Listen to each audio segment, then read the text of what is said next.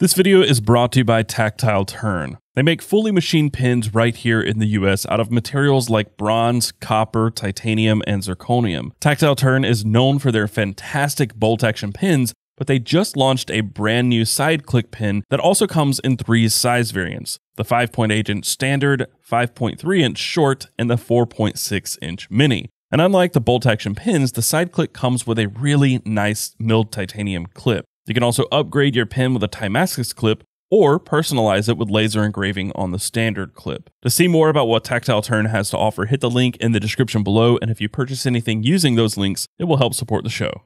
Welcome back, everybody. My name is Taylor Martin. This is the best Damn EDC. And earlier this week, over on Instagram, I asked you guys to ask me some questions and I would answer them. But before we get started, I just wanted to tell you about these really quickly. These are the custom Big Idea Design TPT slides with my logo and a topo design. We've been working on these for a while. I'm so, so excited that they're finally here. They're gonna drop next week. I'll tell you more about it over on Instagram. So if you're not following me on Instagram, just go to bestdamnedc over there and follow, and you'll find out more about drops like this and other stuff I have going on that I don't always talk about here on the channel. I wanna try to do something a little bit different this time. I pre-selected the questions. There were a ton of questions. So if I didn't get to yours, you can try asking it again in the comments down below and I'll try my best to get to it. Uh, there, there were just so, so many and rather than rambling for an hour and a half and cutting a video down to like 20 minutes, uh, I figured I would pre-select some and see if that goes a little more smoothly. So with that said, let's do the damn thing.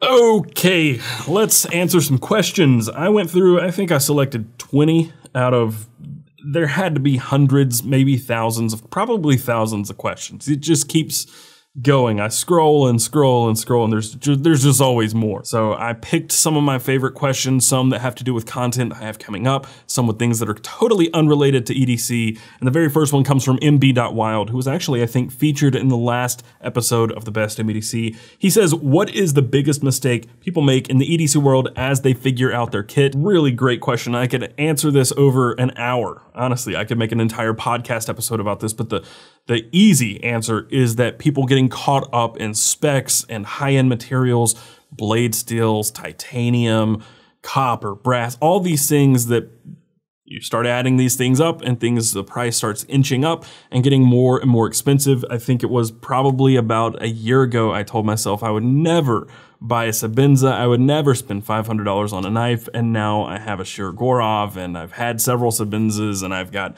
hinderers out the ears. I've got a lot of very expensive knives and it's a slippery slope. Once you rip that band-aid off the first time and, and buy your first $500 knife, the second time is much, much easier. And uh, yeah, that's that's probably one of the the worst things that you can do getting into EDC. Enjoy that budget gear. Enjoy the stuff that you're getting into it with.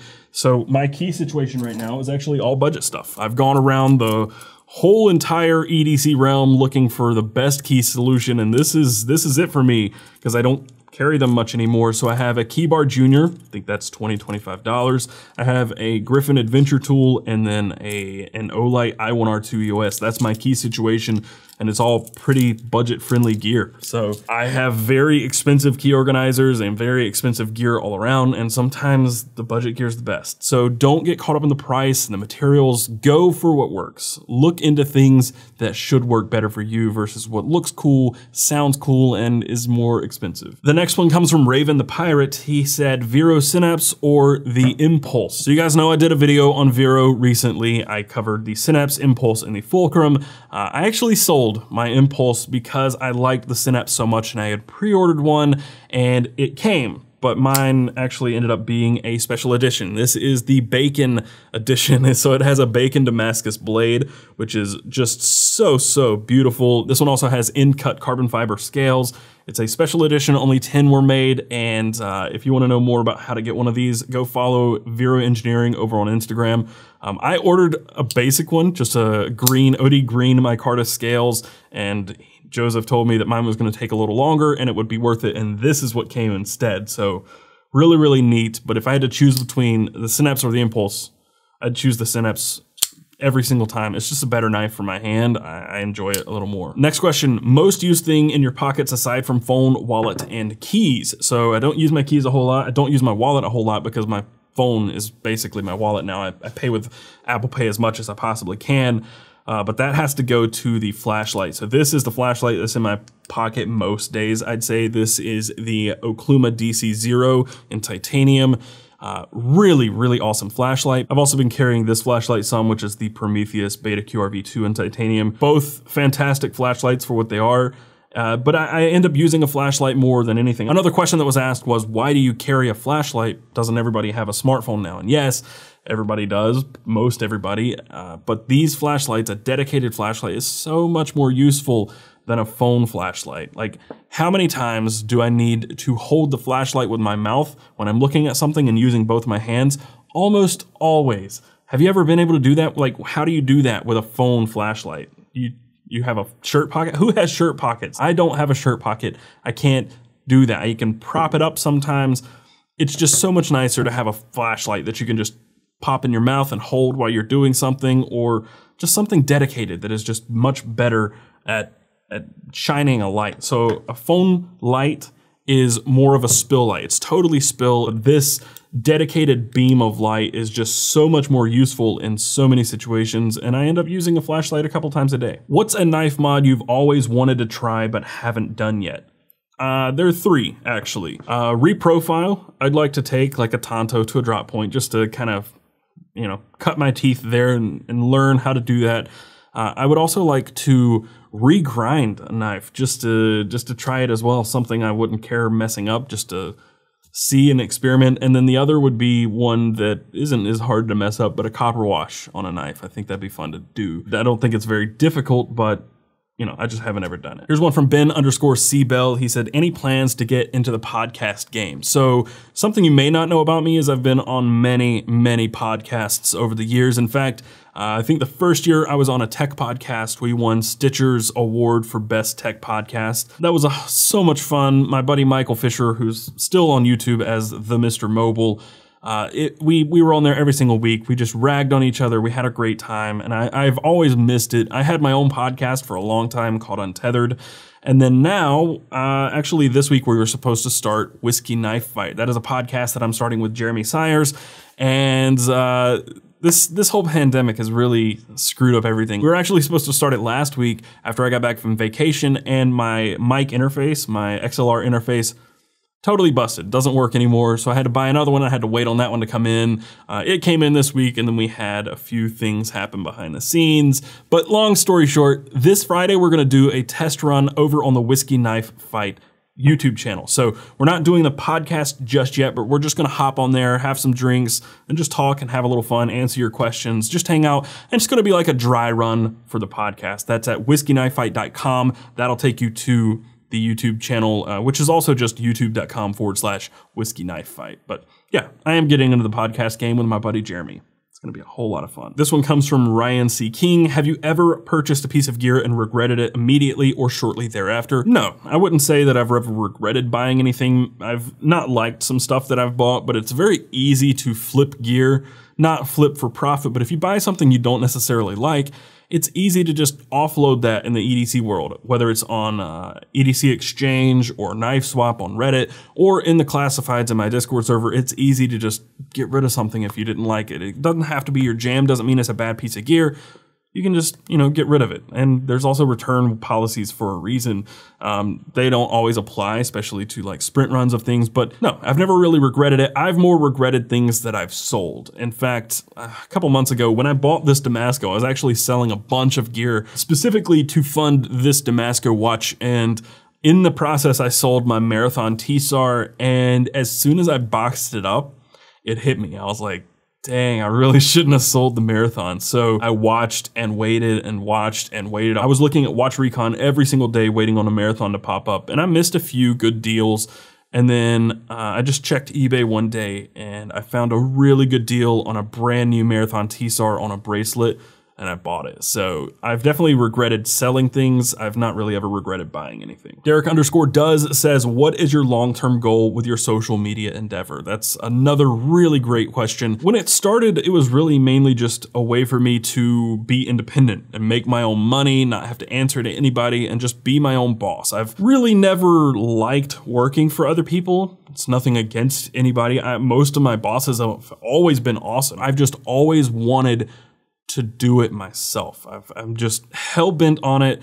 And if, say, in a few years this doesn't work out for me, I'm probably going to try something else on my own. It's just something I've always wanted to do. I can't explain it further than that. I just want to work for myself. It's the best, most free thing ever. And after doing this for so long, I could not imagine going back. So for the for the now, I think the whole reason is to provide for my family, provide a really nice and fun life for Eleanor, my future kids, and myself and Alex. Uh, but I think long term, I think the the the goal is to teach more people about everyday carry.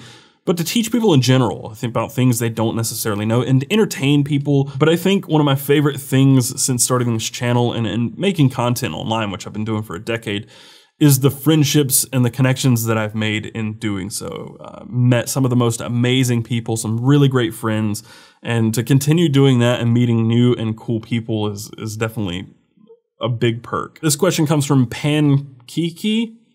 He says, uh, What was the reason you got into EDC? And the reason I picked this is because I never really got into EDC. I've always been into it. I've always loved knives and gear and little trinkets all sorts of things. I mean, I've been carrying Leatherman for a long time.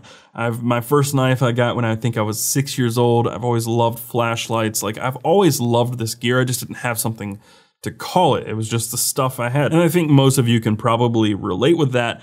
But now, like now that I know it's a thing, uh, I think what really drew me in was finding the community on Instagram, more specifically John Smith or 875 FPS, Brassworks, whatever you want to call him.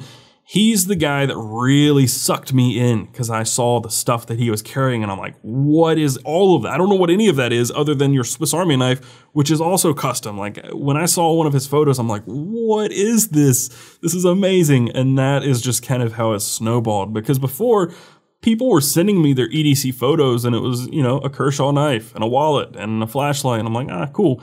But then when I saw John's stuff, that was just what turned the tables and just blew the doors off. And uh, it's been downhill ever since. What folder is in your pocket right now? Well, I think I actually have two in my pocket. In the back pocket, I have the banter. I was taking photos earlier, and this one was just in my back pocket. Um, haven't really started carrying it a ton, but I've, I've been flicking it a lot and using it to cut, mostly food prep. And then in my other pocket, the one that I actually picked up to carry today is the Gareth Bull Shamwiri. So it's the Shamwari, but it's made by WE, so that's what people are calling it, is the Shamwiri. Very, very different knives, and Ben, who designed the Banter, hates front flippers, so um, I, I, don't know. I just felt like that was a little ironic that I'm carrying a front flipper along with the banter because this is like the bane of Ben's existence, and this is Ben's brainchild. This is what he came up with and designed. So I don't know. Just kind of thought that was funny. And they're both manufactured by WE. Ooh, Grimsmo Official said, uh, when are you coming by the shop? Well, as soon as this pandemic's over and I can leave the country without fear of not being able to come back, especially now that travel bans for Americans are uh, being put into effect. Like, I don't think there's one with Canada yet, but I'd rather just wait it out. I'm so pumped to come see you guys and see the shop. I want to be there. I want to see the the shop in person and and hang out with you guys. I haven't seen you guys since last year's Blade show, so not soon enough. That's my answer. What's the next big project you're excited for? Another great question. So when I uploaded the videos last week, I did a pair of videos. One was my truck EDC and then the other one was more of a walk around and plans explanation for what I'm doing with my new truck. Uh, as soon as I uploaded those, I got a few comments from people telling me to stick to EDC and stop jumping around because you're always jumping around and changing and pivoting and uh, just stuff in that vein. And honestly, that pisses me off. It's so frustrating because here's the thing I've never been a person with one hobby. I've always loved a bunch of different things gear, coffee, camera equipment. I, there's just so much stuff gaming, PCs, tech. Like, there's so many people out there with all of those same hobbies, but I've been pigeonholed into this EDC hole. Like, I love EDC gear. I do but I've been doing nothing but EDC for two years straight. Every day I wake up and I think about EDC and I work on EDC and then I go, go to bed and dream about EDC and I'm not burned out. I'm just bored. I want to do something else. I love camping and I've not been in two years, over two years. It was one of my favorite things to do in the world. And then I just stopped cold turkey. I've not been fishing in forever. Well, I did when I was at the beach, but I've not been fishing regularly. I've not done any of these other things. And people have just driven me into this corner. And anytime I try to step outside of that and do something different, everybody's like, get back into your box. You're out of your box. Get back in it. And I absolutely hate that. And the one thing that is going to make the content here on the Best Damn EDC suffer is me not being able to explore and have different hobbies and just get a little taste of something different. Do something fun that's not sitting at this table. That's what that other channel is about. Just a little bit of deviation from EDC, some some fun, some just something a little different. And of course, I'm feeling the effects of that more so now because the pandemic and really coming here and going home, and that's about it. But I really just have so many other things that I want to explore, and I'm going to do that without affecting anything here. Everything you see here is going to stay exactly the same I'm just doing other stuff on the side. That's all that other channel is. That's why I have a second channel. It's Taylor Martin. You can find it pretty easily. It's linked down below. It's on my other channel page. Like it's everywhere. Just search Taylor Martin on YouTube. Anyway, what's my next big project that I'm excited about? That whole channel. That's it. Why GMC over Toyota? Well, one, the Toyota is a little small. We have a growing family and it's just a little cramped. Car seats never really fit in the Tacoma very well. And while I could have gotten a Tundra uh, the GMC just offered more features and more of what I was looking for. The Tundra, while it's reliable, the fuel economy is horrible. And once this pandemic lifts, I plan on doing a lot of road trips. So that fuel economy in that GMC, that diesel engine, is really, really great. I mean, I'm pushing like 30 miles per gallon on the highway, which is so, so good.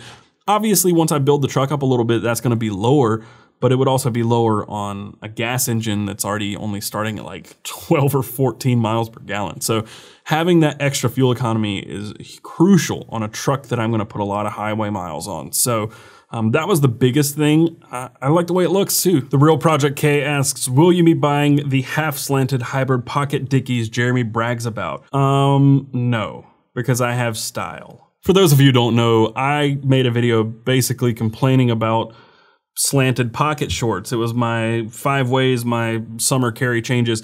Uh, and then Jeremy made a video on his updated summer EDC this week. Basically, he called me out for hating slanted pocket shorts and then talked about his solution to it, which is not a solution at all. The Dickies pocket shorts, not my thing. I don't like them. That's all there is to it. What's on your wish list of watches?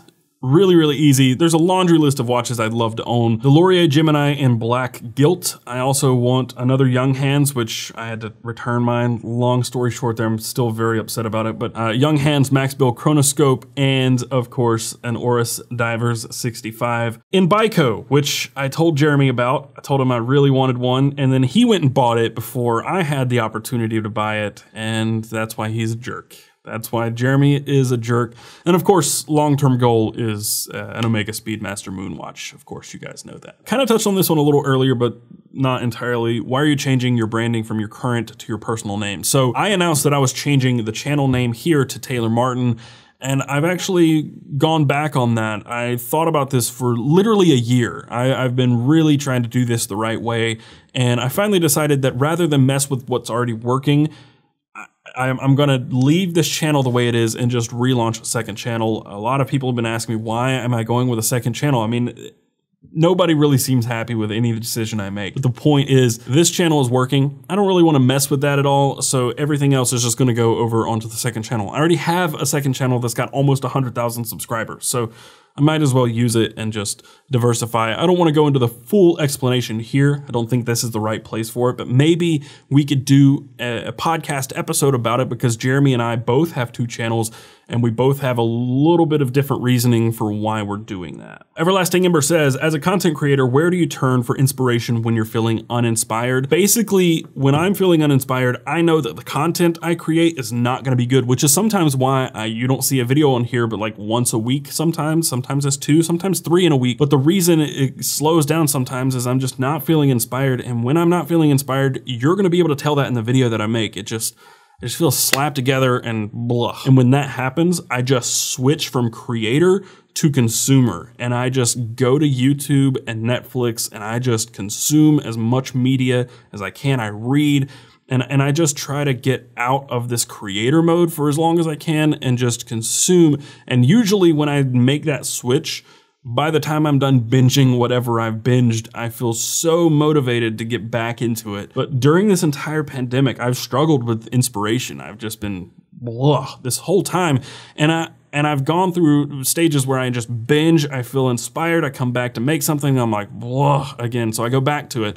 And I've been struggling with this for like four or five months, and uh, it's nobody's fault. It's just the way the current state of the world is. Like, nobody feels amazing right now. Everything is just so up in the air and uncertain. And uh, I'm not feeling uninspired, but I'm just definitely feeling the effects of it, and I, I need to get out and and travel and do things that are not inside this office. I am so fortunate one to have this office. I love having this office, but I am so sick of just sitting here. Thoughts on the ProTech Malibu. So I have that in this little knife roll from Arc Company. So ProTech sent this to me and uh, I carried this a lot since it got here. I've been switching between three knives really lately. The Quiet Carry Drift, the Shamwiri, and the ProTech Malibu. This is easily the most fidgety knife ever made. Button locks are just so fidgety. They're more fidgety than the Axis lock. Way more fidgety, even a compression.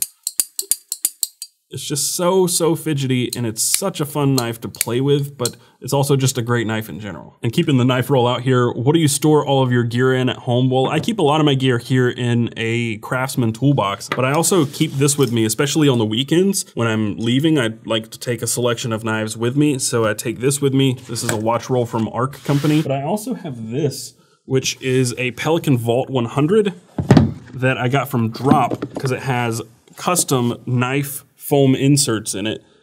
So you've got some knives here on the top, right here. But you also have more on the bottom. So it will hold 19 knives, which is really, really nice. And you can lock it. You can make this lockable storage and it can go with you. It's much easier to just kind of take this with me if I'm gonna be gone for a long time and I don't want to just sitting here. That was the last question I had pre-selected. Let me rapid fire a couple. Um, are you planning on going to Blade Show this year? Uh, Probably not. I, I don't know for sure. I'm going to wait until much closer. I mean, we got about a month until it starts, so uh, I got a month to decide, I guess. Ford Raptor, greatest truck or greatest truck? I think the Ford Raptor is a fantastic truck. I almost bought one, almost, but I decided to go with the GMC instead because I really wanted a diesel engine.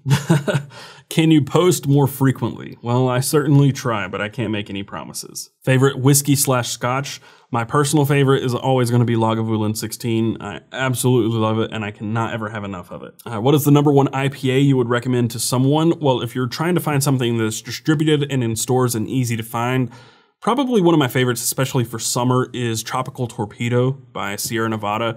Uh, hazy little thing is not too bad, but the my favorite IPA that I've tried is either a local one from High Branch. They have a rolling selection of IPAs that I love every single one of them.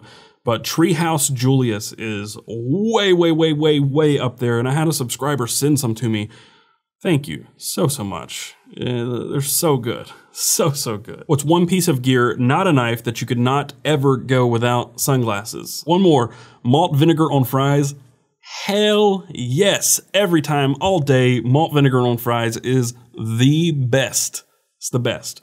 It's one of the reasons I like going to Five Guys, is because they have malt vinegar on hand and most places don't. So yes, malt vinegar on fries Absolutely. That's going to do it for this video. If you found it helpful and you enjoyed it, be sure to hit that thumbs up button down below and subscribe to see more stuff like this in the future and hit that notification bell to be notified when I upload new videos. If you want to support what I'm doing here, some of the things I talked about in this video will be linked down below as well as some of my favorite gear and my current carry. You can also buy directly from me at carrycommission.com. There's also that drop of the custom TPT slides that's coming out very soon. Go follow on Instagram to know when that happens. And also you can go to patreon.com forward slash bestdamnedc to support there. Uh, be sure to follow us on the web. You can find us on Twitter and Instagram at BestDamnEDC. You can find me, Taylor Martin, on Twitter and Instagram at Casper Tech. And there's also a Facebook group and a Discord server. They're both linked down below. You can click that link and request to join there. But with that said, and until next time, carry on.